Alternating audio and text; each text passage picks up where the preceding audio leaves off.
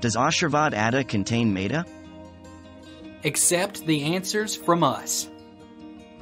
Aashirvaad whole wheat atta is made from the grains which are heavy on the palm, golden amber in color and hard in bite.